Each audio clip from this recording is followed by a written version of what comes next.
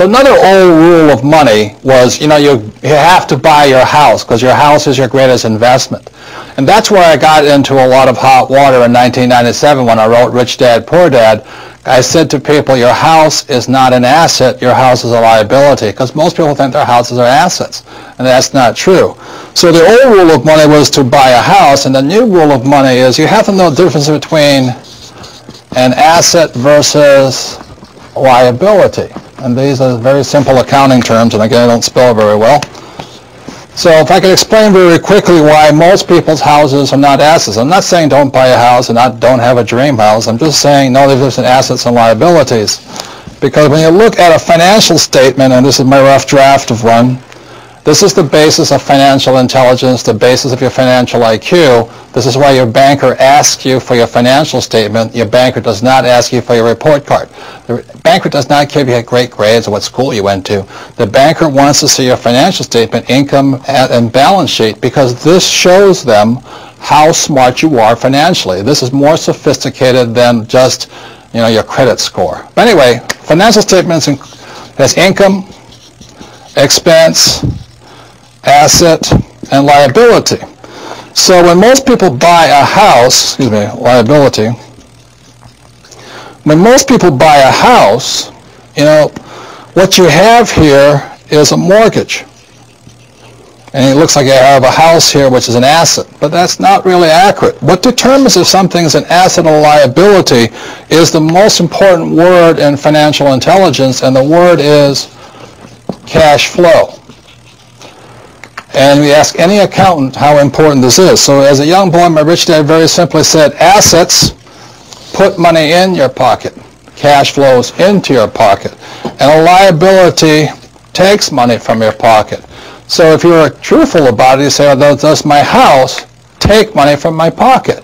And I would say for most people, every month their house takes money from their pocket. And then the savers say, but my house is paid off.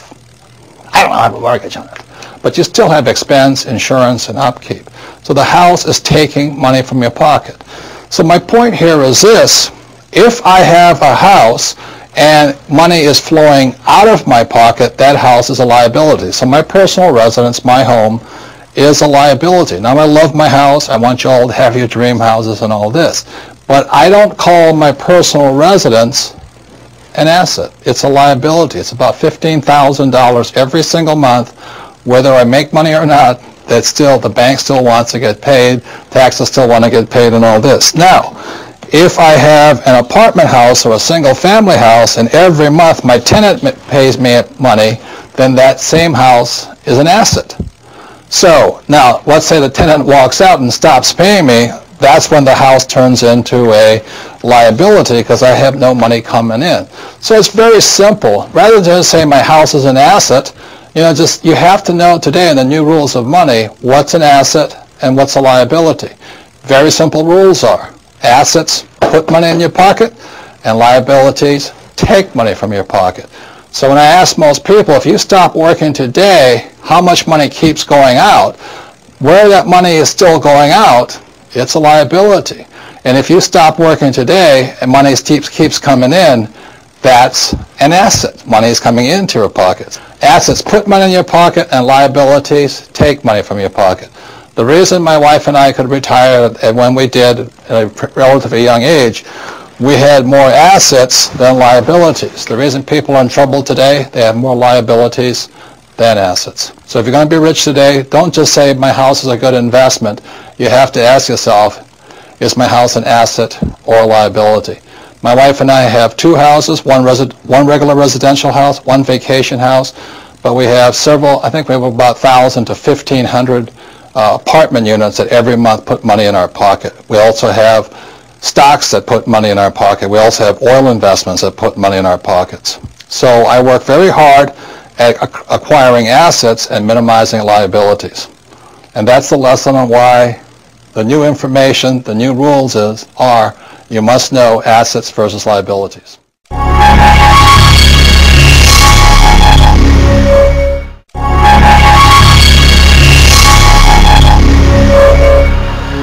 So the third new rule of money is, I think the big mistake is I hear so many people say it's important to save. That's ridiculous. And the reason that's ridiculous is because what happened in 1971 is crucial. In 1971, the U.S. dollar stopped being money. In 1971, the U.S. dollar became a currency. And what that meant is Richard Nixon, in 1971, the president, took us off the gold standard. That's like giving an alcoholic free rein to the bar, or it's like giving somebody who can't control their spending unlimited credit cards. So what's happening is all the savers today are losers. You know, the problem with 1971 is that the federal government keeps printing money, so the value of your money keeps going down. So these people, I'm saving, saving, saving, and if you notice, as the value of the dollar goes down, prices go up. So they call this inflation.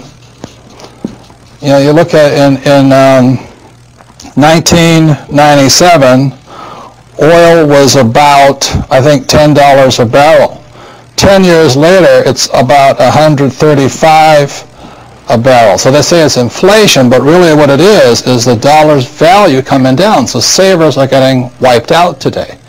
So to keep saying to yourself and to your kids to save money, that is not uh, the new rule. That's an old rule. So a very big problem for most people is stop using the word save and use the word hedge. You've got to hedge your money, hedge against losses. Like when I buy a stock, I put a hedge in. I put a stop loss or a uh, put inside of it or a call, whatever I'm doing. I want to stop it. So today, I don't save money. I'm hedging. So I, in 1997, I started investing in oil, gold, and silver. So as the dollar dropped, oil, gold, and silver went up. So I'm not betting so much on oil, gold, and silver. I'm betting against the US dollar. And that's why this idea that you're going to tell people you need to save money, that's really, really an obsolete idea because the idea went obsolete in 1971. The US dollar in the last few years has lost almost 80% of its purchasing power. And the prediction is, because this has happened throughout history, it happened thousands of years ago with the Romans, with the Greeks, with the Germans, with the English, the Japanese, and the Chinese. Every time they've made money, money into a currency, something you could print at unlimited, every time they have, that has happened, the currency has gone to its true value, which is zero. So I am afraid as this economic volatility continues, the savers who were operating by the old rules of money are just going to get wiped out because the purchasing power of their dollar is going to go down. So even if the bank's paying you 5 to 10% interest, you can't keep up with the banks printing money. So that's the old rule of money is saving money, and the new rule is hedge. You've got to be able to see what's coming up as something else is coming down. The last thing I want to point out to you on this idea of saving money is this.